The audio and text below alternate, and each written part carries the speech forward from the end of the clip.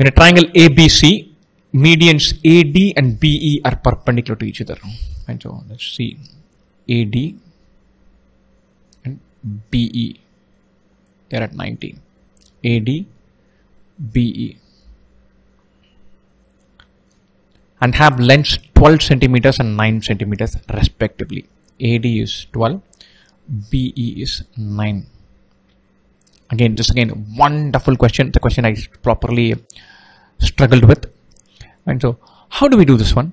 Area of triangle abc we need to find. And so think about this. If we find area of triangle abd that into 2 will give us this. Becomes an easy question. Area of triangle abe that into 2 will give us this. And somewhere we can figure out the area. If we find area of triangle area of triangle ABD we are through area of triangle ABE we are through. CBE we are through. Somewhere. AD is 12 BE is 9 what is? Now this is the meeting point of these two medians or this is a centroid. It's a delightful insight. The moment you know that know that you're through. How so? Centroid divides the median in the ratio 2 is to 1 that means this AD is 12, AG is 8, GD is 4.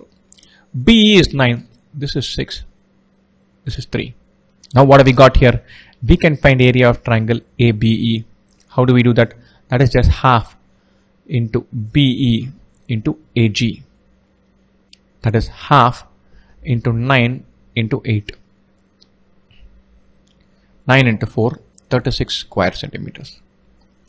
Now that is going to be equal to area of triangle BEC because B is the median or area of triangle ABC is 36 into 2 which is 72 square centimeters.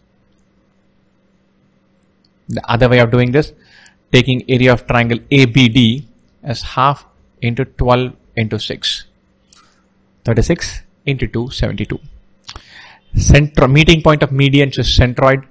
Centroid divides median in the ratio 2 is to 1 the median divides a triangle into two triangles of equal area. Those are the ideas we are using here. Once again, a wonderfully tough question. One, once again, one that I struggled with, but beautiful. The moment you pick that centroid divides median in the ratio 2 is to 1.